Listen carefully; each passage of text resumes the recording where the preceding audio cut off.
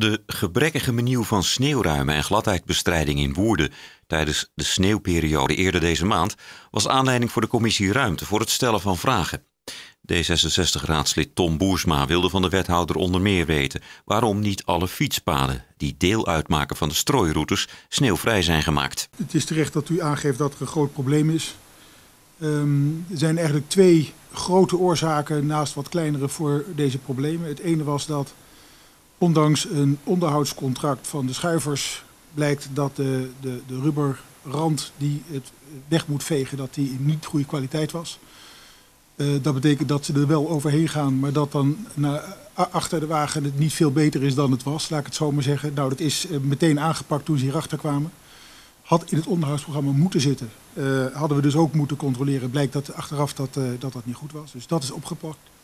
En het andere is dat er een misverstand is geweest, een miscommunicatie over de wijze waarop de paaltjes weggehaald moeten worden. Er is hier een beleid dat de tientallen, ik geloof dat het meer dan honderden paaltjes zijn die fietsers, fietspaden beschermen tegen automobilisten die de weg kwijt zijn. Um, en die worden weggehaald zo rond uh, de, eerste vorst en teruggezet in de lente. En daar is uh, met een communicatiefout, maar ik geloof dat er acht of zo zijn weggehaald in plaats van 160. Ik, ik doe even uit mijn hoofd die getallen.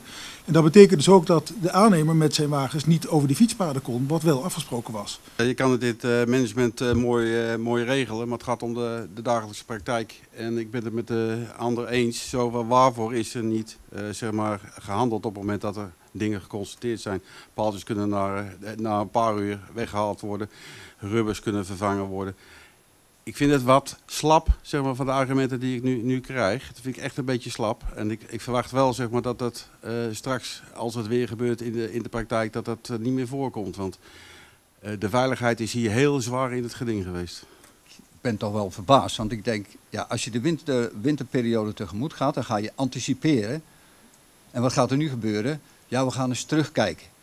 Maar er had vooruit gekeken moeten worden en dan had hadden al die dingen die hadden geregeld uh, kunnen worden.